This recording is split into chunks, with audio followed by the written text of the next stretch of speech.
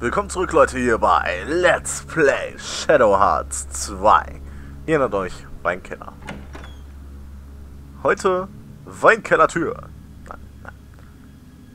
Das Ende vom Weinkeller und wir sehen durch Joachims männliche Beine die Zauberkriegerin Veronica. Das ist der Bürgermeister und Cole. Ja, die sehen wir auch. Er atmet und kann daher nicht tot sein. Sehr schön. Er versucht verzweifelt vorzugeben, dass er bewusstlos ist. Okay. Das sind die Kinder. How dare you!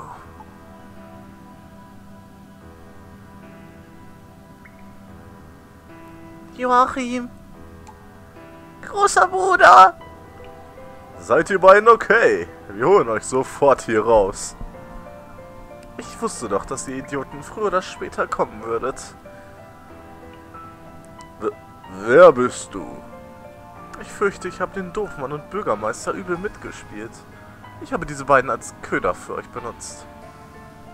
Also war die seltsame Atmosphäre, die wir gespürt haben, von dir, wie?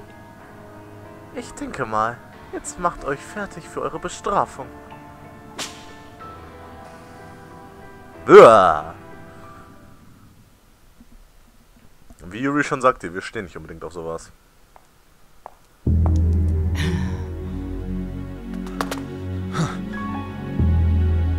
You with the silly outfit. How dare you take my family? I, Joachim, will make you pay for your crimes. Ah!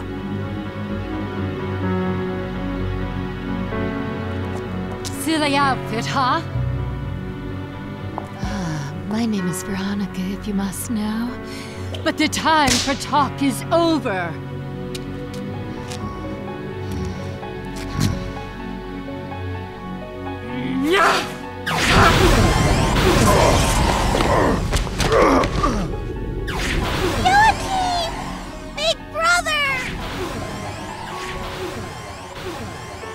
What is he doing? Den Helden spielen?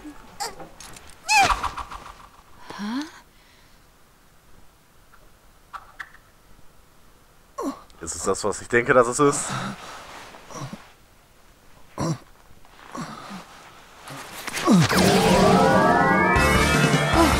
What's going on?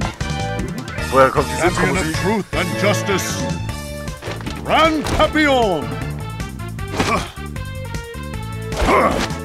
Ready to fight all evil doers.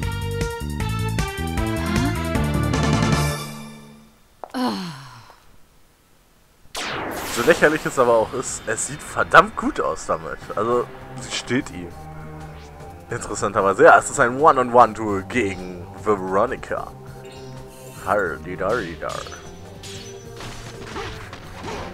Das Schöne ist, in seiner Grand Papillon-Form ist er deutlich stärker als in seiner normalen Form. Kann auch ein bisschen mehr wegstecken. Und sowas mag ich.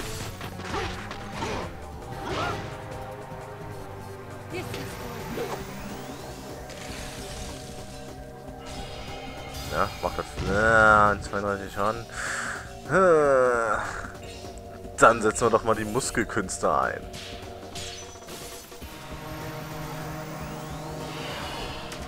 Show me your moves. Immerhin heile ich mich dadurch, ne? Das ist eigentlich schon alles, warum ich das überhaupt gemacht habe. Einfach nur, damit ich sicher gehen kann, dass wir ja, dass ich sowas mache. Aber hey, ein Tritt in die Magengrube reicht auch aus. Dann passt das wieder.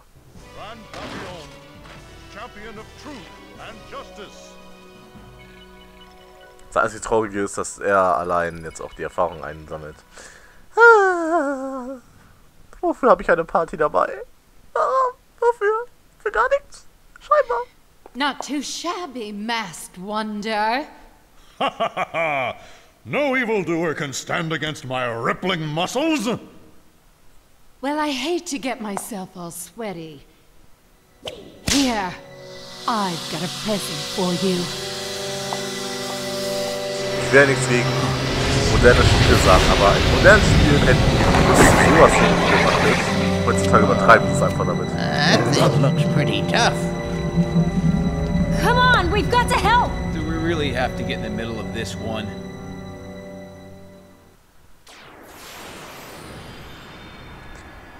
Die Antwort ist wohl ja. Gut, diesmal ein Kampf der Sondergleichen. Nein, eigentlich ist es ein Kampf wie jeder andere auch. Tausendfüßler, Mersault und Gregor. Das sind unsere Gegner. Ähm, ich bin mir ehrlich gesagt gerade nicht sicher, ob diese Gegner hier respawnen. Also werde ich sie einfach mal eben platt machen. Natürlich in der Hoffnung, dass sie eben nicht respawnen, aber... Ja, sollten sie respawnen, dann werde ich es ja sehen. So, letzter Gegner. Mersault. Ach, Grand Papillon, du halt dich jetzt mal bitte erstmal. Oder nein, jetzt, jetzt ist er wieder Joachim. Ja, ich bleib bei Joachim, obwohl man ganz klar gehört hat, dass er Joachim ausgesprochen wird. Joachim, nee. Ja, super. Gut, dass ich dich gerade gehalten habe. Mach's doch mal. Weil so schön war. Ah, herrlich. So. Gucken wir mal, wie viel Schaden wir so verursachen.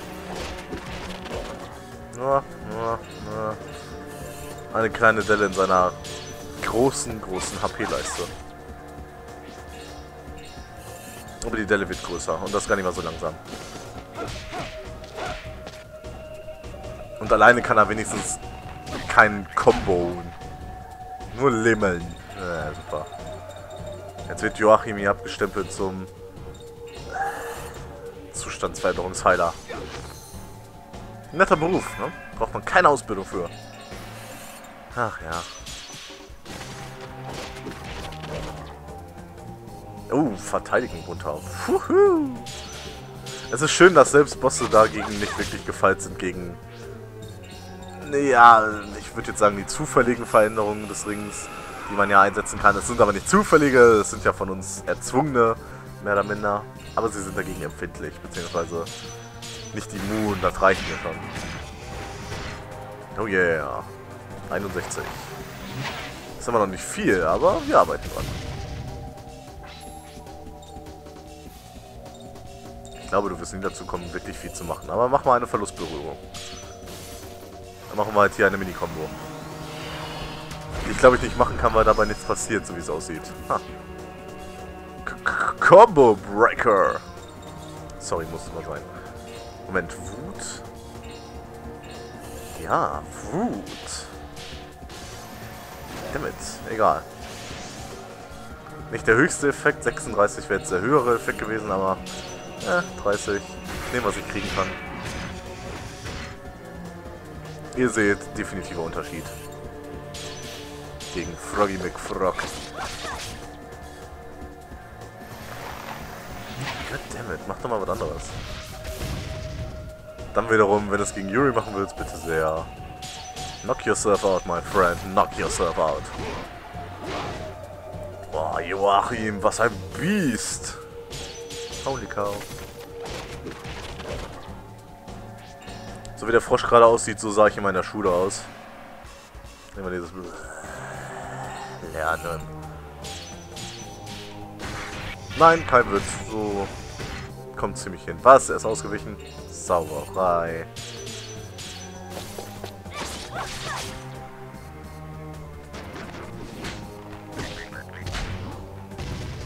Ja, die Lähmung hätte ihm jetzt eh nichts mehr gemacht. Wow. Karren tritt gleich durch. Kriegen wir aber vorher platt, wenn ich jetzt nicht mit allen die Angriffe versaue. Ja, reicht. Oh yeah! Badass! So muss das sein, Leute.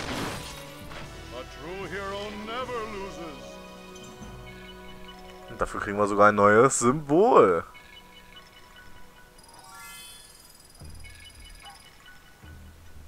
Und ein paar Seelen.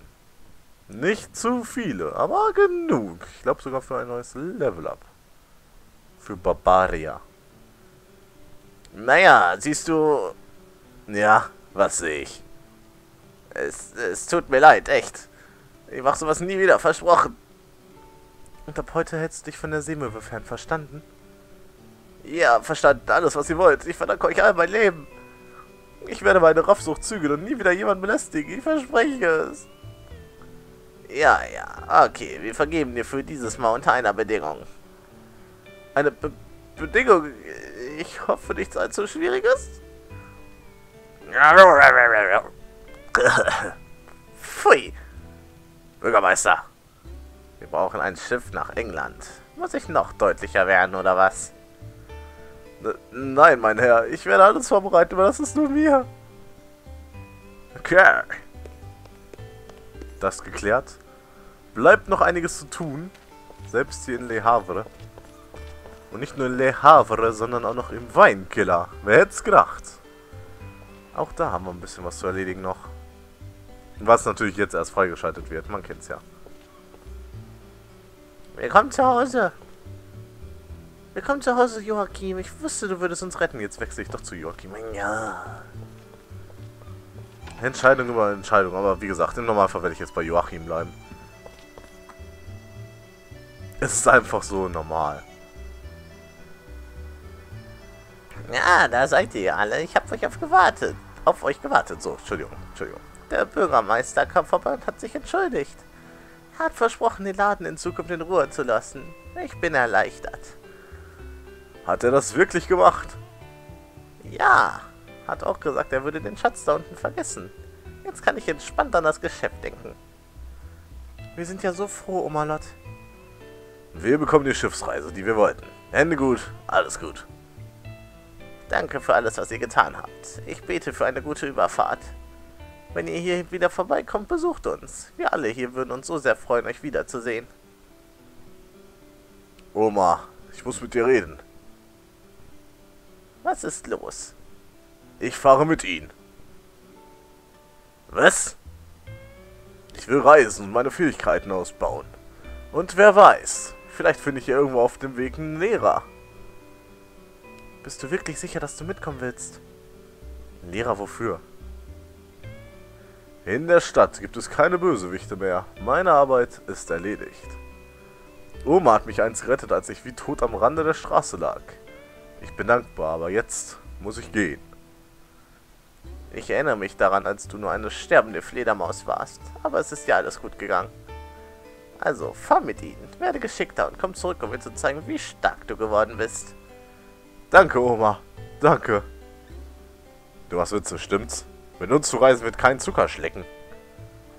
Yuri, du willst doch herausfinden, wer ich wirklich bin, oder? Naja, irgendwie schon, aber... Wenn du mich mitreisen lässt, erzähle ich es dir vielleicht eines Tages. Verdammter... Gut, mach was immer du meinst. Also einverstanden. Danke, dass ihr mich mitreisen lasst. Immer diese Posen. Was ist denn los, Oma? Da, nimm. Das ist für euch alle. Sie haben Solomons Schlüssel erhalten. Der Schlüssel von König Solomon. Zeige ich euch. Ist besser, als das sich durchzulesen. Das macht dann erstmal trotzdem keinen Sinn. Was ist das? Ich habe selbst ein bisschen herumgestöbert und dabei dieses Buch gefunden. Du hast herumgestöbert. Wann zum Teufel hast du denn das gemacht? Ich musste einfach herausfinden, was da unten lag. Aber ich habe nur dieses alte, verrottete Buch gefunden. Ich hoffte auf Wertvolleres, wenn ich ehrlich bin. Oh mein Gott, das ist unglaublich. Weißt du etwa, was das mit diesem Buch auf sich hat, Geppetto? Keine Frage, das ist König Salomons Schlüssel, eines der verlorenen großen schwarzen Bücher. Dieses Buch enthält eine Karte, wo die 72 Dämonen, die König Salomon beschwor, verzeichnet sind.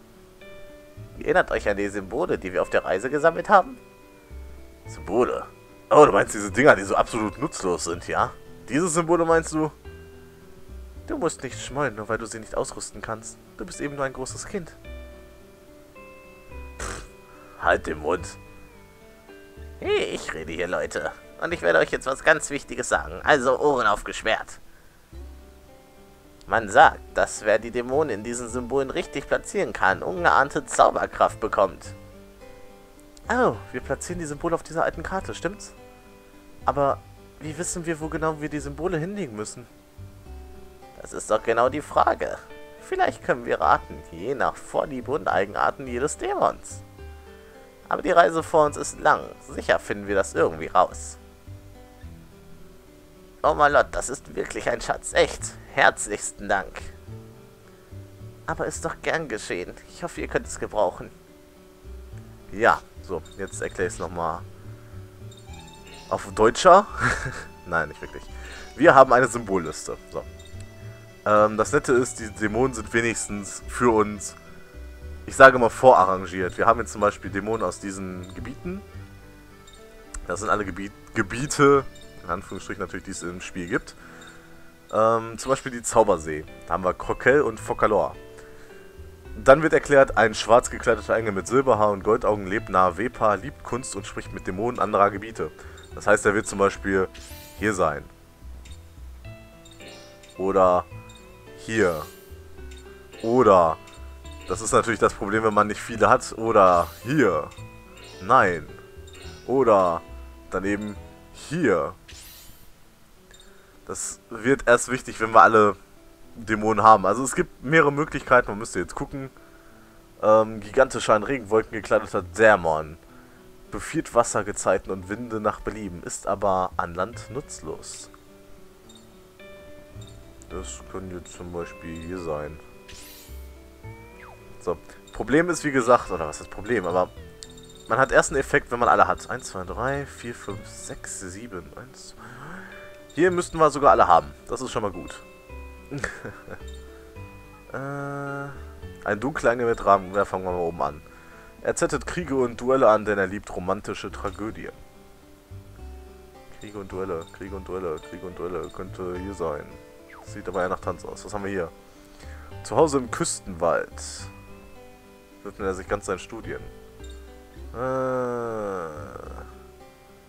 Ah, er scheint als herrliche Frau, die alle Lebewesen um den Finger wickelt, hasst Männer und lebt mit schönen Frauen am Seeufer.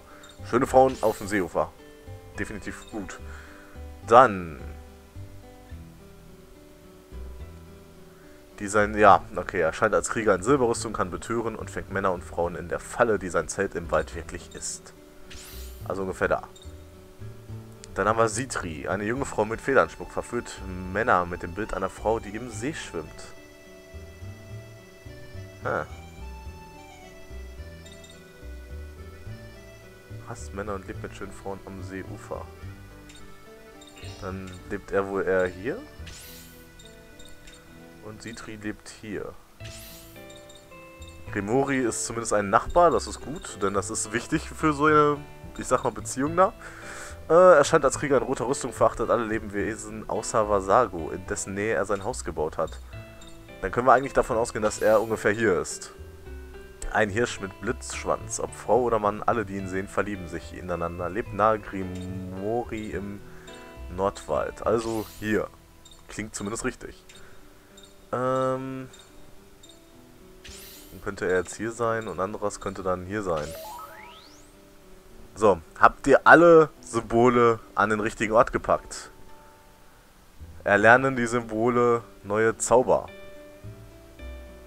Das ist jetzt vielleicht am Anfang erstmal ziemlich uninteressant, aber auf die Dauer ist es immer ganz praktisch. Mag Walddämonen und lebt in ihrer Nähe. Also wird sie wahrscheinlich da wohnen. Äh, ja. Gigantische Krähe mit bluttriefenden Krallen, nett. Äh. Ein Ritter, der Soldaten führt, voller Misstrauen befürchtet er stets einen Angriff. Lebt mit seinen Soldaten im Wehrturm am Wald. Der dritte. Er scheint als weiser alter Mann mit verkrüppelten Beinen, lebt am Meer und reitet zum Reisen auf Krokodilen. Verwandlungsmeister. Lebt am Meer? Wie kann man hier am Meer leben? Wo ist denn hier Meer? Hier ist kein Meer. Hier ist nirgendwo Meer. Vielleicht da. Das ist das Problem, wenn man nicht viel hat. Ja. Ihr seht, wir können also prinzipiell, abgesehen vom Wald, können wir momentan noch keine ähm, Karten füllen. Das machen wir aber über das gesamte Spiel natürlich verteilt. Wir werden das gesamte Kartengebiet füllen. Wir werden also immer neue Zauber freischalten. Das ist fast eine Art Level-Up für die Symbole. Und dementsprechend ist es auch sehr, sehr wichtig, für uns auf der Reise. So. Mit 100 Seelen komme ich hier ein Level weiter. Sehr schön. Äh, 120. Okay. Ich gehe mal davon aus, dass ihr mehr Fusionen sehen wollt. Also werde ich mal für die nächsten Parts hoffentlich mehr Fusionen freischalten. Und jetzt geht es für mich wieder zurück in den Weinkeller. Das sehen wir aber dann erst beim nächsten Mal. Bis dahin, auf Wiedersehen und tschüss Leute.